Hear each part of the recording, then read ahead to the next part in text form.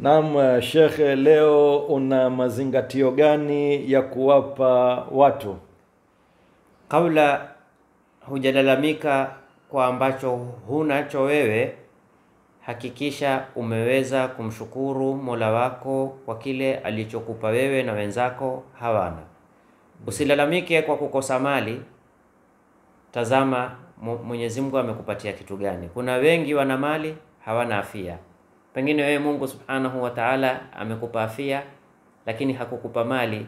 Jua neema ulionayo, kabla hujamuomba usokuwa nacho, mshukuru kwa ulicho nacho. Hakika wenye akili ndiyo wenye kuzingatia.